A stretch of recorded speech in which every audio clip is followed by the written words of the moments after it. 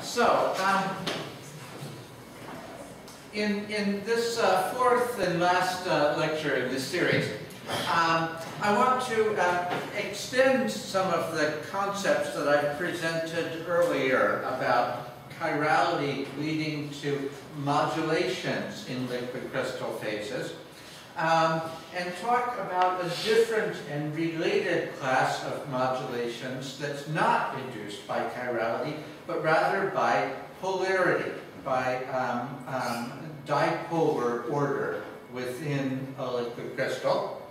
Um, this work, uh, unlike the previous lectures, uh, includes some current uh, research from uh, my group and, and others, um, and so I certainly want to acknowledge my uh, collaborators on this uh, research, the students um, Shaikh Shamid and Subas Dhakal and um, Professor David Allender. Um, and so the idea here is that um, we're working with the, the flexoelectric effect, which some of you may be familiar with. If you're not, I'll tell you about it in just a moment. Um, but for, for students who learn about it, um, you know, we generally learn about it as kind of a specialized type of uh, electric field effect on liquid crystals. Um, that was, uh, you know, certainly the way I learned it. Um, but what I want to argue here is, is a different ideology, right? An ideology that the flexoelectric effect is actually a very fundamental part of how we ought to understand uh, elastic distortions in liquid crystals. And I'll try to uh, persuade you of that in this, uh, in this talk. So um, let's, let's begin by thinking about the Frank free energy density for achiral liquid crystals um, which you're um, familiar with, which you've seen in uh, multiple lectures uh, so far this week. Okay, and um, what, uh, and so this is for achiral liquid crystals. Uh, if we have chiral liquid crystals, then certainly there's a favored uh, twist, as I presented to you yesterday. Okay, and so now, when you think about an equation like this, you could say there's something a little bit funny here, right? That there's a favored twist, but there isn't a favored splay or a favored bend. And so, you know, now at this point, you know, splay and bend are jealous, and they say, wait, why does twist get a favored value and we don't? Right? It's not fair. Right? And so, so what makes the difference between twist versus splay and bend, that there can be a favored uh, uh, twist only. And can we construct a model that has a favored splay or bend? Right? So um, let, let's see what it would take to do something like that. All right? So first, let's think about favored splay. All right, so suppose we wanted to make something that has a favored splay, this um, divergence of the director field, as shown there, right?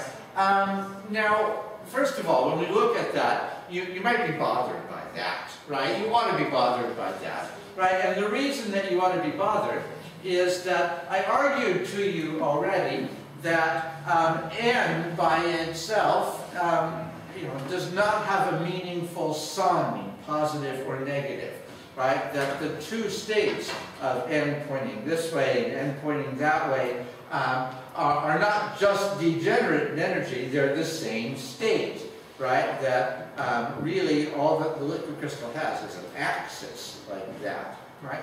And so um, when you have this del dot n, right, it's odd in the sign of n, so what does it mean, right? So in particular, if you have a configuration like this, um, what's the splay of that? Is it positive or negative, right? And that depends on whether we draw the arrowheads up like that or down like that. Okay, so how, how could we solve this problem? Right, the key is we only want to think of things that are even in n. So one nice even thing to think about would be this splay vector, right? Take the vector n times del dot n, okay? Now this is nice and even, right? And so, um, if we have a configuration like this, okay, if we should draw the arrows this way, right, then we'd say, well, this is a positive divergence times a vector pointing up, right? So this splay vector is a vector pointing up, right? Alternatively, if we look at a structure like this, we'll say, oh, well, it's a negative divergence times a vector pointing down, hence a vector pointing up. Okay. So this uh, splay vector is a nice, meaningful thing to think about, uh, unlike the splay scalar. All right. So, um, um, no problem, right? So that is telling us um, that it's not a good idea to write the Frank free energy this way with a divergence of n, right, as our splay. Instead, we should say, let's look at n times the divergence of n, this thing as a vector quantity squared, right? So at this point, of course, you're going to laugh at me, right, because this thing is exactly the same thing as this thing, right? Because n is a, a unit vector, right? And so I have uh, a unit vector times something magnitude squared, right? That is identically equal to the something squared, the magnitude squared.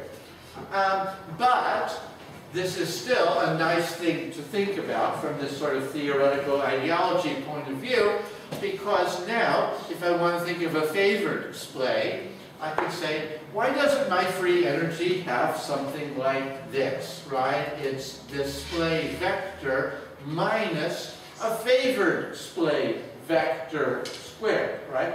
So the same way that with twist, I have a twist scalar minus the favored twist scalar, right? Here it would have to be something with vectors, right?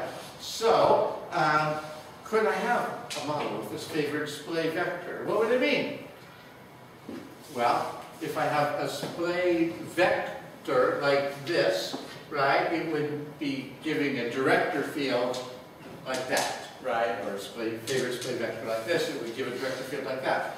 Right, and the thing to notice is that it um, breaks the symmetry between n and negative n, right? I've spent the last three lectures persuading you that there is a symmetry, but now the favored splay vector slightly breaks it, right? Or in particular, right, if you regard each of these lines as representing a distribution of molecules, right? Each of those lines is a thousand molecules, say, with 500 pointing up and 500 pointing down, right?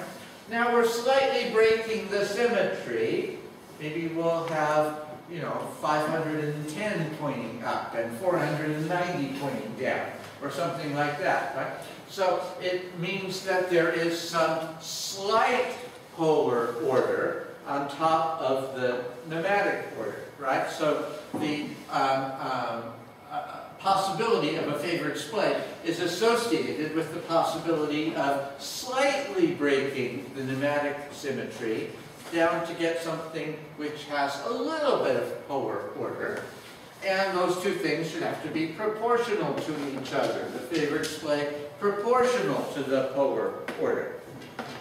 If you want to regard that on a microscopic point of view, you could say, suppose we have cone-shaped molecules, right? If there's no polar order, then you have a distribution like this, where half of them are pointing up, half of them are pointing down. Right? If you have a splay, uh, then uh, more of them will point up than point down. Right? There still will be populations each way, but they'll be slightly different populations. Okay? Now, the way I've drawn it for you, this is uh, just uh, a point about statistics, right? I haven't talked to you about electrostatics. But in general, if you have molecules that have two different kinds of ends, there will certainly be some electric dipole moment on each molecule, right? If there's no symmetry that forbids an electrostatic dipole moment, then there will be some, at least little electrostatic dipole moment. And now, when you have a population like that, a population difference like that, um, then the electrostatic dipole moments won't cancel anymore. So there must be some net electrostatic polarization associated with the distribution like this, right? So if this occurs, you ought to be able to detect it with uh, electrical measurements, right?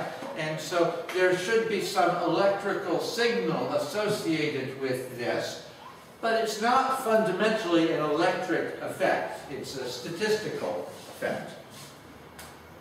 So, here, I can imagine now a few types of ways this could show up in experiments, right? Some of which are well established by other people and some of which are speculative, right? So, first of all, let's think about the, the flexoelectric effect, right? So the flexoelectric effect um, is an effect where people um, in, uh, apply a splay and get an electrostatic polarization, right? In general, when you have these, these compound words for effects, the first half of the word means the cause, and the second half of the word means the effect, right? So here, the cause is a flex, like a splay. The result is uh, electricity. Okay? So here, you can say, let's take a, a, model where there's a free energy that has this combination of things, right? The free energy is coupling the splay vector and the polarization. And then there's going to be some other term in the polarization, eh, excuse me, in the free energy that resists polar order, right? This is a material that does not naturally tend to have polar order. And so there's going to be something in the free energy that resists polar order, um, what perhaps for entropic reasons, perhaps for electrostatic reasons, perhaps both. Uh, okay, so you've got this combination of these two things, right? Uh, in, in uh, the dependence of free energy on polarization, if we then minimize over the polarization, then it shows that there's a polarization which is linearly proportional to the applied splay. Okay, and the constant of proportionality is what people call the flexoelectric coefficient, uh, E1, the splay flexoelectric coefficient. Okay, so um, when when uh, this is something that's well established and that people have been measuring in uh, liquid crystals for many years. Uh, so here, you know, we get some, some model for how big it is in terms of these parameters in the Landau here. Okay. Uh, we could also work backwards, right? Most physical effects work either forwards or backwards, right? So we could say, let's apply an electric field and induce a polarization, right? Then that polarization ought to induce uh, a splay, right? So here, here's a model of free energy where we have this uh, coupling between splay and polarization. And then there's a term that looks like a polarization squared, right? And then a term that's this coupling between electric field and polarization. Okay, so now for applying the electric field, the um, system will relapse its polarization and its splay, and so we can minimize the free energy over both of those things. And we see now they're both uh, going to come out to be proportional to the applied electric field. All right, so those are two effects, uh, the flexoelectric effect and the converse flexoelectric effect which are you know, well established in the liquid crystal literature. Um, an, an, interesting possibility that's not so well established, right, is what if we had a material that um, has a natural tendency to make polar order, right? Now, most liquid crystals don't do this, right? Most liquid crystals don't have any natural polar order. Um, um, they uh, only have nematic order, right? But suppose we had a situation where um, there was a natural tendency to form polar order, where the molecules tend to fit together like stacking cones on top of each other, right? If the molecules were shaped like balls, for example, have the light for a second, Kristen? What if you had you know, molecules shaped like balls, and so like that, right? And then they would uh, you know, stack together like this. Okay, so this is not a normal thing for liquid crystals to do, but maybe in some exceptional situations they would do it.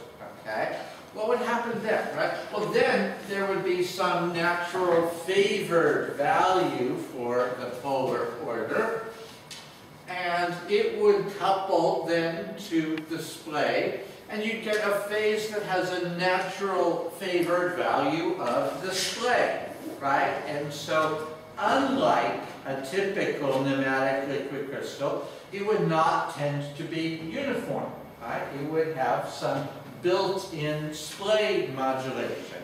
The same way that a cholesteric liquid crystal has a built-in um, um, twist modulation.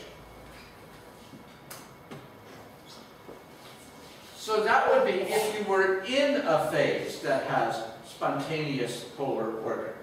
What if you're not exactly in a phase that has spontaneous polar order? You're just near a phase that has such order, right? And so suppose there's a, you know, a phase diagram and you know, at, at 10 degrees Celsius, there's a transition from um, you know, a, a high temperature non-polar nematic to a low temperature polar phase. Okay? So suppose that's at 10 Celsius and you're doing an experiment at 20 Celsius, right? 11 Celsius, right? What if you get near that temperature? Well, um, we would expect then that as you approach the phase transition, that the system would be highly susceptible to any kind of polar perturbations. Right? The same way that, say, a magnet has a susceptibility to a magnetic field. And when you get close to a phase transition, that susceptibility goes up. Right? And so you could have a situation like this, right? Where if there's zero electric field, and you look at the polar order or the splay, right, then at zero field, at high temperature it's zero, and then at the transition, these things both start to diverge, right? Whereas, if you are at um, some small but non-zero field, then um, you would get a little bit of a response at high temperature. And then as you approach the phase transition temperature, this response would get bigger and bigger, and hence the plot like that. Uh, all right, and so um, from that point of view, the flexoelectric effect is a sort of susceptibility, like a magnetic susceptibility, and it would get bigger as you approach this transition for statistical reasons. So, that's my story for favored splay. Okay. Um, what about bend?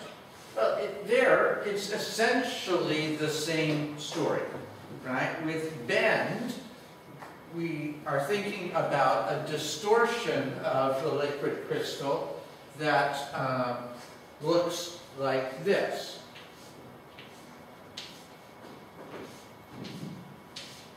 Okay? And so now we want to say, can there be a favored value of this bend distortion, right?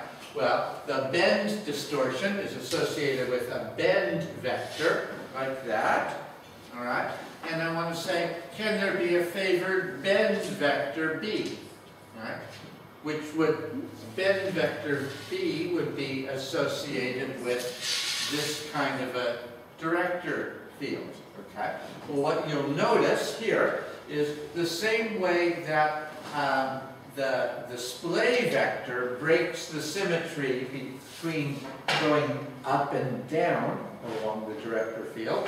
Right? The bend vector breaks the symmetry around the vector field, right? So the ordinary nematic phase is a uniaxial phase, right? That all the directions perpendicular to n are the same, right? A favored bend vector would break that symmetry, right? So that now um, one direction that's transverse to n would be special compared to all the other directions transverse to n. That would most likely occur in um, a system where the molecules are shaped like bananas, right? If you have banana-shaped molecules with that kind of distortion, right, then in the phase with no polar order, the bananas are randomly oriented about the um, director, right? That uh, the, the non-polar state has a distribution of bananas in all directions like that. Okay? And in this hypothetical polar state, um, we're breaking that symmetry. And we're tending to bias it so that more bananas are pointing this way rather than this way or that way. Right? And then that change in population is associated with a favored value of the bend. Right? And now my various scenarios that I showed you for the display uh, flexoelectric effect um, carry through here as well. Right? And so um, we could uh, apply a bend and induce a polarization. A polarization now which would be perpendicular to the director field rather than parallel to the director field. And so that makes a prediction for the bend flexoelectric coefficients, uh, E3. Um, and my other scenarios work also to get a converse flexoelectric effect where we uh, apply an electric field and induce a polarization, hence induce bend. Um, and likewise, uh, so, so number one and number two are again well established in many years of liquid crystal research.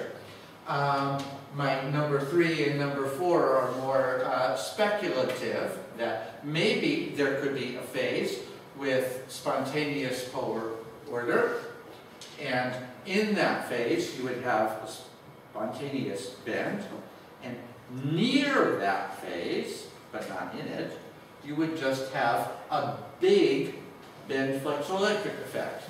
Right? That's speculative, but maybe not, right? That there, there is a big class of liquid crystal molecules with banana shapes, right? Commonly called bent core liquid crystals. Um, and um, people have studied both nematic and smectic phases of bent core liquid crystals. Um, and in the nematic phase of bent core liquid crystals, there, there is in fact a large flexoelectric effect.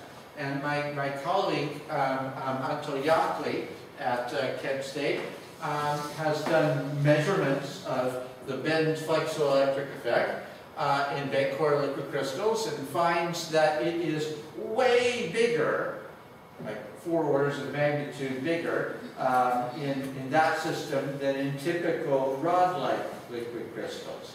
And so it makes sense that um, molecules with a pronounced banana-like shape would have some tendency towards polar ordering, if only for packing reasons, steric reasons. Um, and so uh, that um, may well account for the large flexoelectric coefficient that um, his group has been observing. Okay, so now, let me come back to the uh, parallelism that I want to argue for between twist versus splay and bend. Okay, so for twist, um, you know, we have um, a distortion that's characterized by this quantity, n dot del cross n, right, which is a scalar. If any of you are purists, you would actually call it a pseudo-scalar because it changes sign under reflection. But, um, uh, okay, a pseudo-scalar. Um, by comparison, I've argued that splay and bend are distortions characterized by vectors, the splay vector or the bend vector. Okay, and so um, if there is to be a non-zero favored value, um, the twist must have a favored uh, pseudo-scalar, which has to be proportional to some chiral order. For example, to a population difference between right and left-handed chiral conformers of some molecule. Um, by comparison with splay and bend, uh, there have to be favored vectors, which are proportional to the polarization, parallel or perpendicular to n itself. Okay, so that means we can um, um, do uh, different kinds of experiments, right? I've got my four experiments that I'm thinking of. Let's see what the connections are between splay and bend versus twist, right? So experiment number one is where we uh, fix the bend or splay and induce a polarization, right? That's the standard flexoelectric effect, right? The twist analog of this, right, would be to apply a twist and induce a population difference between chiral conformers. Um, that's not a normal thing to do in liquid crystal experiments, um, but I think there is work from um, um, Charles Rosenblatt's group at uh, Case Western Reserve University, which uh, provides some indication of having done that. Okay. Uh, for experiment number two, the converse flexoelectric effect, right? That's where you say we apply an electric field and induce a polarization and therefore induce a splay or bend, right? The um, analogous thing in twist, um, well, this is sort of my joke, right? I mean, this is not a real experiment, but you could imagine if you wanted to do something that's a field that couples to chirality, like stirring a sample Coriolis force experiment, um, um, maybe that would induce a tiny bit of twist. But don't, don't bet on that. This thing is sort of a joke. All right. Um, how, so, so these things that are well established for splay and bend are kind of speculative for twist, right? By comparison, this third line, this is well established in the twist case, right? Where you have um, um, strongly defined molecular chirality, right? That's what organic chemists know how to do, right? There's some enormous industry of chemists who know exactly how to make chiral molecules with a specific sense of handedness, right? So organic chemists do that every day, right? And that makes uh, a, a cholesteric phase. Yes, absolutely. This is a well-defined part of liquid crystal science. This isn't. This is more speculative on that side, right? But perhaps it could happen, as, as I've argued. Um, and then for the fourth line, right, that's actually looking at a phase transition, right? And so here, I'm imagining a phase transition from nematic to polar, where the polarity is either parallel or perpendicular to the director. And here, could imagine a phase transition uh, from a non-chiral to a chiral state, right? And each of these things would induce some distortion in the director field. Um, there is evidence for this uh, chiral symmetry breaking transition uh, in experiments of um, Noel Clark's group at the University of Colorado. Uh, it doesn't happen a lot, but it happens in some experimental systems, and it does induce twist, right? And now we could think about this kind of situation. How would the, the corresponding phase transition um, induce uh, a system with spontaneous splay or bend? Okay? And that brings me to my last point of comparison, right? Um, which has to do with how you fill up space, right? You remember yesterday I argued to you that the cholesteric phase is the luckiest phase in the world, right? Because it can fill up three-dimensional space with pure twist without defects, right? So it gets exactly what it wants everywhere, right? And, you know, the world doesn't have to be that way. Most phases are not that lucky, right? And so in particular, with splay and bend, right? Um, I've, I've, argued that you can get a system that wants to have some amount of pure splay, or it wants to have some amount of pure bend. Right? But there is no way to fill up three-dimensional space with pure splay or pure bend. It just doesn't fit in three-dimensional space. So, if there's a system that has a tendency to have spontaneous splay or spontaneous bend, um, well, it just can't get what it wants, right? But it might do something. It's frustrated, and we might expect that it will get some configuration that will include defects. So we could ask, well, what kind of configuration does it get? Now this actually um, brings us to a subject of current research. Okay, so now um, in the last uh, half of the lecture, I'm actually going to tell you about something new as opposed to background information. Okay, so um, um, you know, I've, I've, been working in this this area of um, what happens in um, systems that have a tendency towards spontaneous splay or spontaneous bend. Um, I thought I was the first person to think about this question. Um, I subsequently discovered that Ivan Dozov did uh, something very similar in 2001. And then I found out that Bob Meyer did something like this in 1973. Um, uh, 1973? Um, but, but, but, okay, so, so be it. He, he was ahead of his time.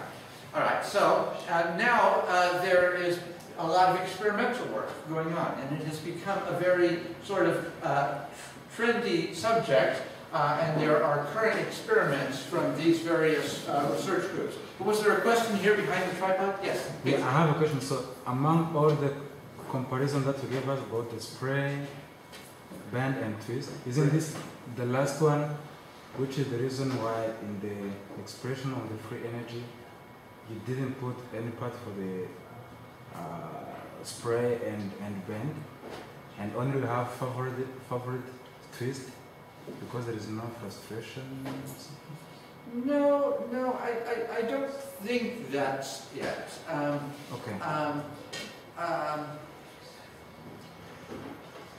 because the frustration has to do with um, a competition between what works locally versus what fits in space globally right?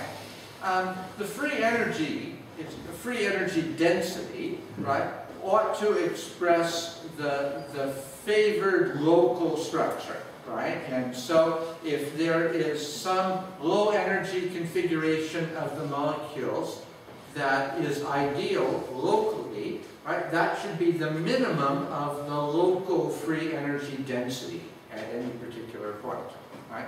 And then um, as you uh, extend the configuration to fill up more space, right, um, it may well be that that configuration doesn't extend, right? That it only works over some small length scale. Um, but that's not a reason to exclude it from the free energy, right? That just tells you that the integrated free energy uh, has to have um, uh, you know, favorable regions and unfavorable regions. Right? Um, so, so no, I don't think that's why it's left out of the description. Right?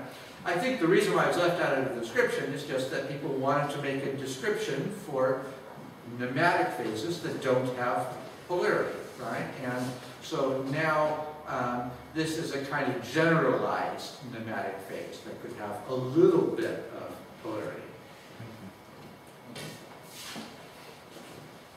Okay, so this is actually a very current subject of liquid crystal research with these uh, experiments. Um, and um, uh, so here I want to try to present the theory to you, you know, with my, my version of the theory.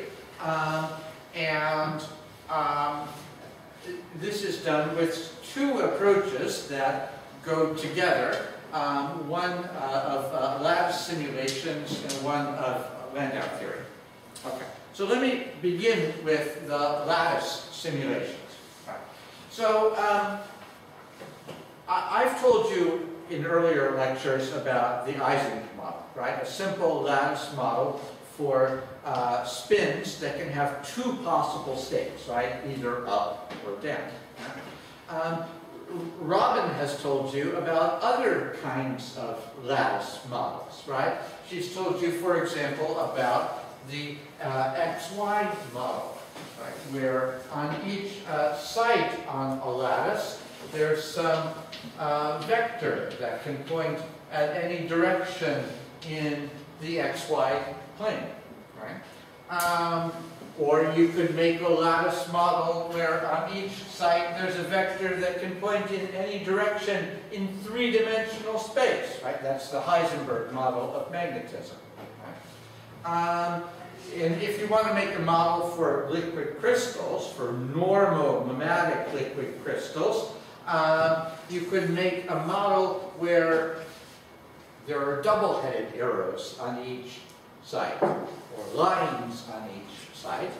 And Robin has shown you that that can be represented by an interaction between nearest neighbors uh, that's proportional to ni dot nj squared. Okay? Um, um, that is called the uh, Lebwohl-Lasher model of nematic crystals on a lattice. Um, suppose you wanted to generalize that model to describe this kind of phase that I'm proposing to you, right? A, a phase that has strong nematic order and a little bit of polar order. Okay? Well, um, we, we can do that, and we can do it in, in slightly different ways to describe either you know, pear-shaped, cone-shaped molecules versus banana-shaped molecules. Right? If we're dealing with cone-shaped molecules, right, we can make a model that has this nonpolar nematic interaction, the ni dot nj squared, plus a little bit of the polar interaction, a small term proportional to ni dot nj, which breaks the nematic symmetry. Okay? And then we would want to put in the flexoelectric coupling, right? The fact that if you break the nematic symmetry, um, then that makes a tendency towards splay of the director field. And this coupling does that thing. And it's not obvious why this coupling does that thing, but take my word for it um, similarly, if we wanted to do the same sort of thing for banana-shaped molecules, okay, then we would have to say that um, on each lattice site, there are actually two vectors. Right? There's this main director of the liquid crystal molecules, and there's this sideways vector, a transverse vector, which represents the um, um, dipole moment.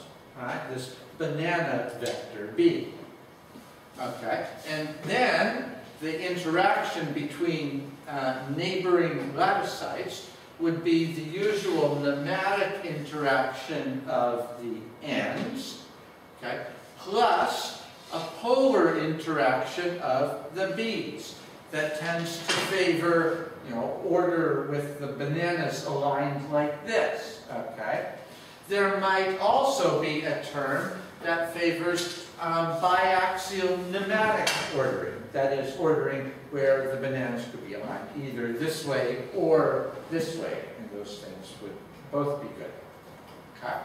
And then we need the flexoelectric term that says if there's polar order of the bees, that tends to make a bend of the ends of the nematic orientation.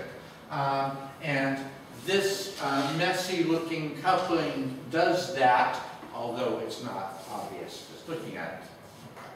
So, um, we've got that, and we could also put in an electric field coupling to the net um, moment. Right? So, this should be a lattice model that represents the kind of situation that I'm describing to you. And so, um, uh, my students have simulated these models, uh, both the splay case and the bend case. Uh, let me show you results from the bend case. Right?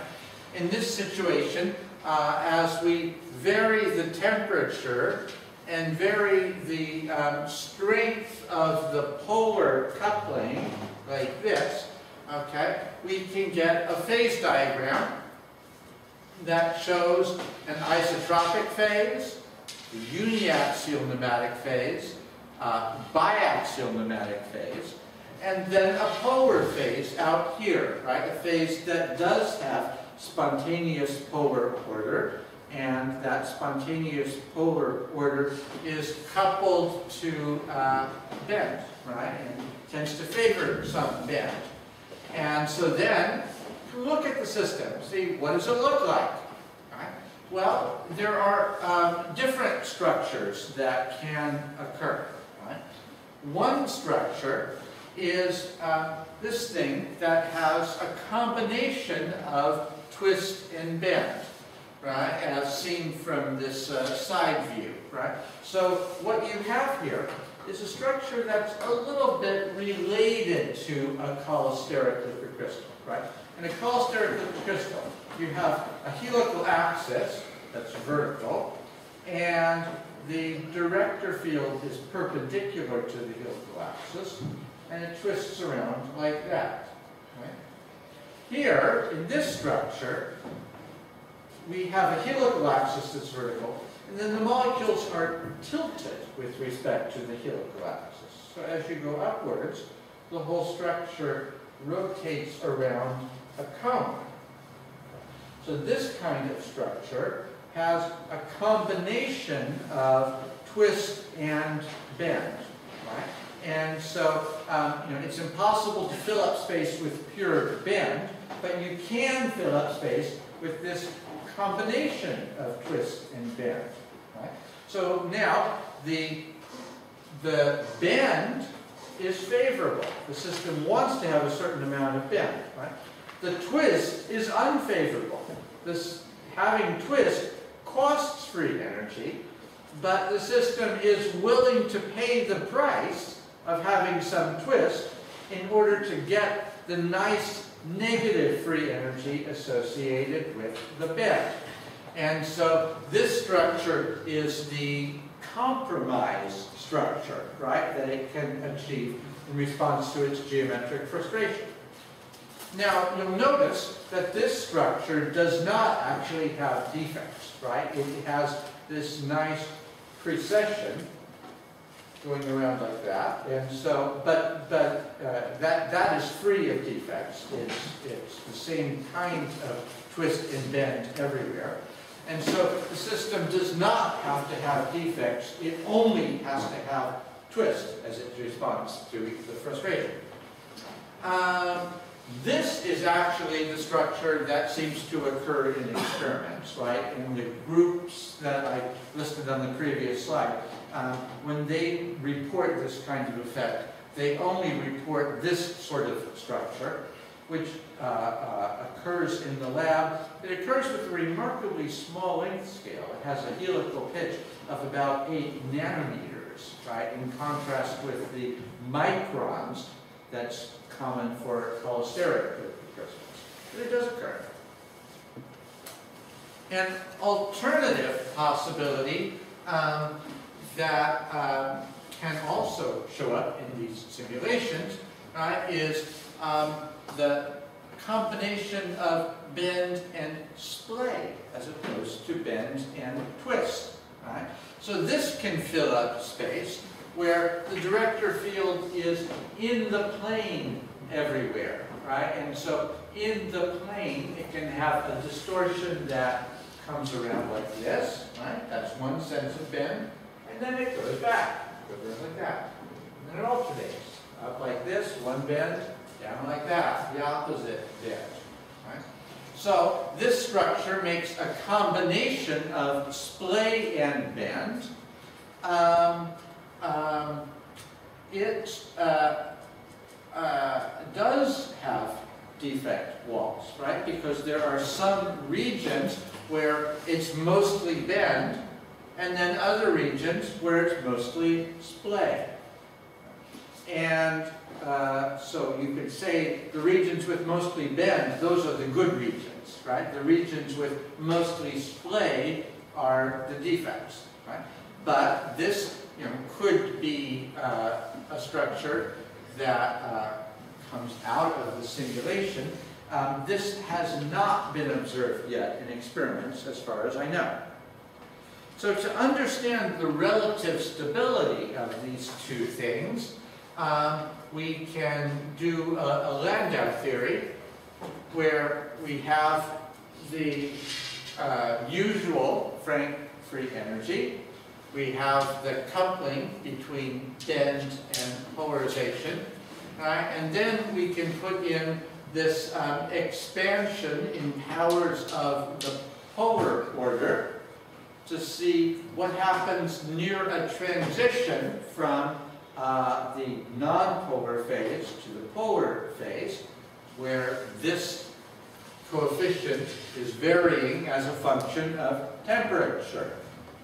Uh, and then we can put in assumptions for what's the configuration in the um, in the twist bend phase or in the splay bend phase, um, and minimize over parameters in each of these assumptions.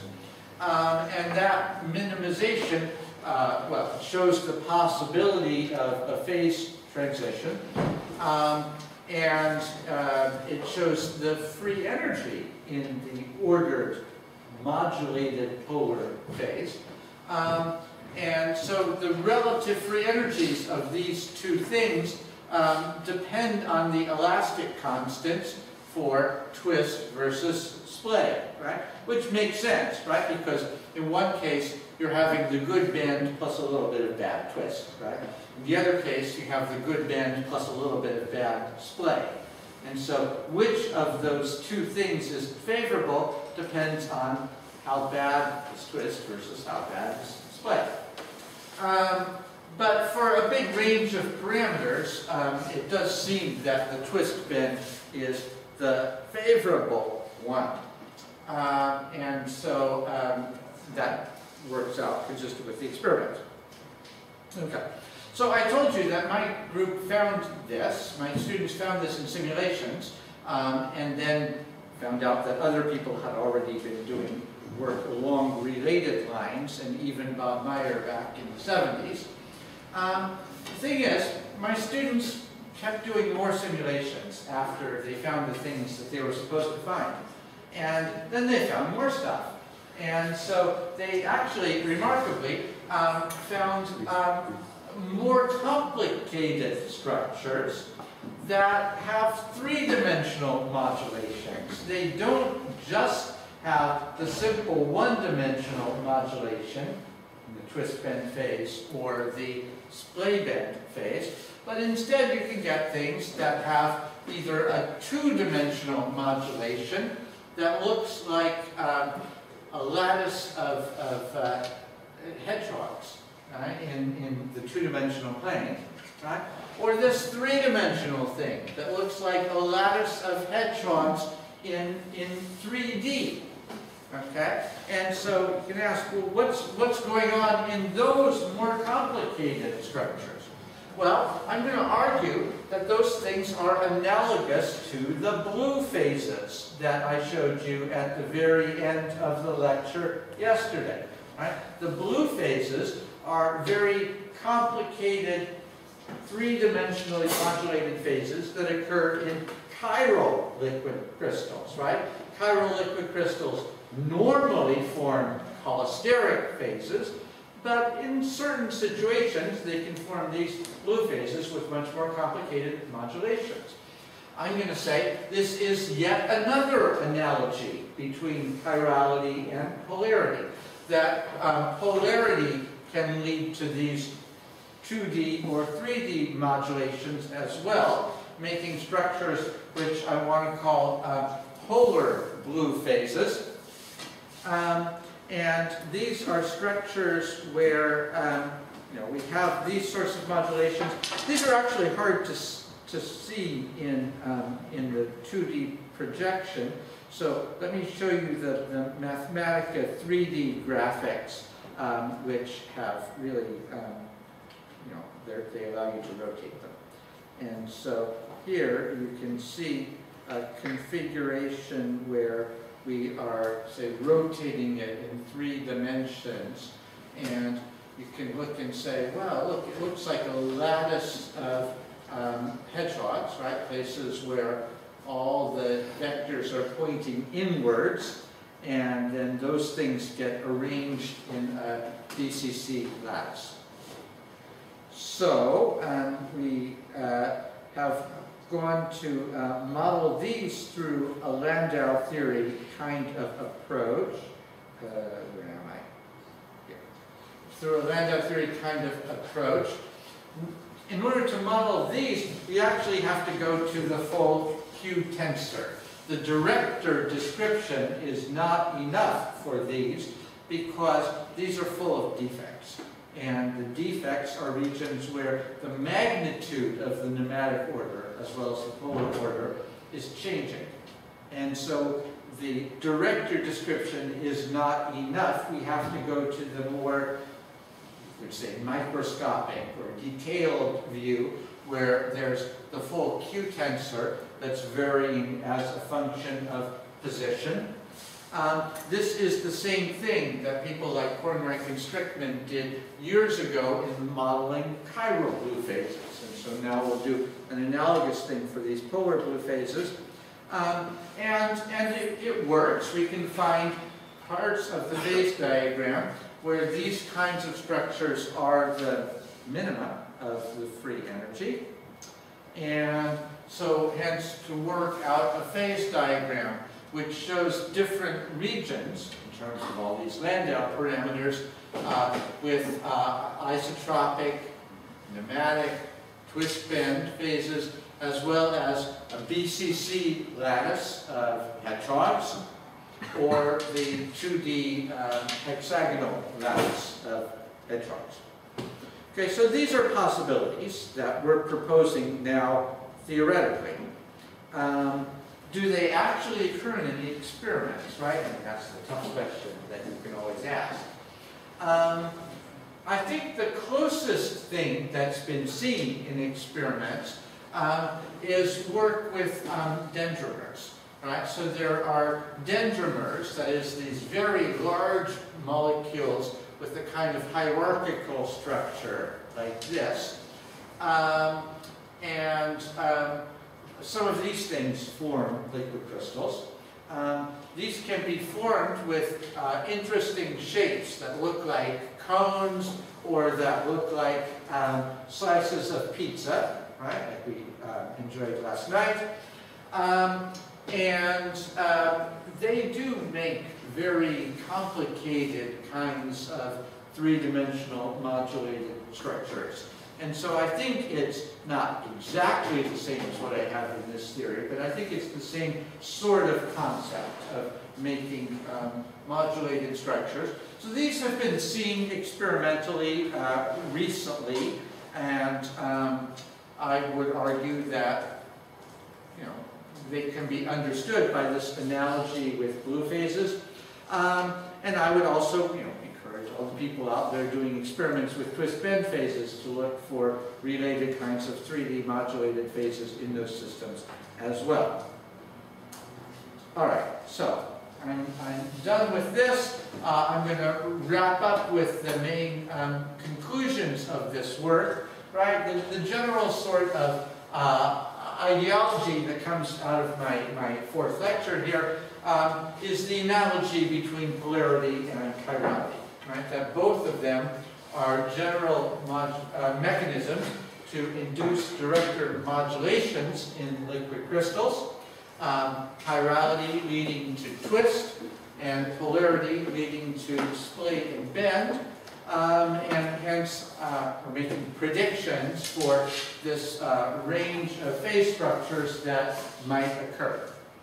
Okay, so I think that um, wraps up the uh, story that I wanted to tell you over the whole series of lectures. Uh, I tried to give you a survey, you know, ranging from fundamentals of liquid crystal science and you know, what determines the magnitude and the orientation of uh, liquid crystals, um, and then what determines the modulation, so whether the modulations can be uniform or uh, or whether frustration can lead to very complex uh, structures. Uh, I think this is a very uh, rich subject and I've enjoyed sharing it with you. Um, so at this point I will um, conclude. I thank the organizers for um, um, arranging this uh, great event, this uh, summer school or winter school or whatever it is. And, um, and uh, uh thank, uh, thanks to the organizers for uh, inviting me to participate and thanks to all of you for coming.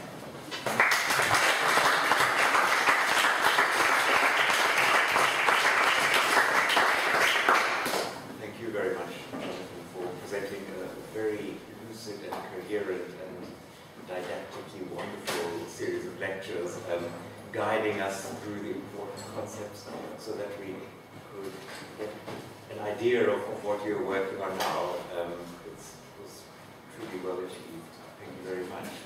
Um, any questions?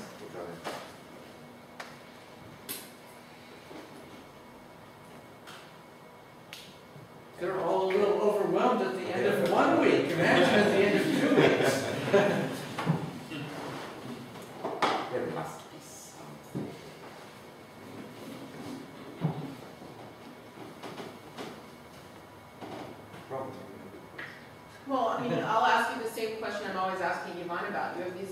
classes of materials, what can you do with them? What are the applications for them? Potential applications. Potential, right. Well, um, I, I don't have so much in mind there, right? I mean, a, a general feature of what, um, you know, of, of, a lot of the work that we're hearing about is wanting to um, assemble structures, right? And that's something where um, Ivan has already made a lot of progress right, in designing structures that will assemble with characteristic geometries and characteristic length scales. Um, and um, you know, this could be one more tool for trying to, to make such structures. Oh, come on, we just want faster televisions. Can we do that too? Well, you know, it's, it's amazing thinking about chiral blue phases, right? When, when um, when chiral blue phases were first um, identified, right, and people thought these have got to be the most e exotic, uh, basic research kinds of structures. Um, and you know, this is really weird geometry and topology that goes into those things. Um, and um, it, it, it, it seemed like the most basic of basic research topics right? But in the last 10 years or so, there actually have been efforts to build um, know, liquid crystal displays out of blue phases. Um, It's a, it's been a big research effort for Samsung, right? It's not on the market, but they've built prototype TVs out of blue phases. Um, and it's, it's really quite amazing, right? And, and even at the International Liquid Crystal Conference, uh, I know, don't know what it'll be in two weeks, but two years ago, there, there was poster after poster of, of applications of chiral blue phases. Um, and um, it's certainly not what anyone would have imagined 20 years ago. Um, and so, um, you, you know, I mean, it's, uh, it's fascinating to see in this field how there can be connections between basic research and applications. I think that's the most wonderful sentence on which to conclude lectures. Fundamental science evolves into routine engineering. Well, or even Uh, non-routine engineering. The, yeah. the well-developed concepts that was presented can really help us understand really complicated systems. All right, thank you. Thank you very much.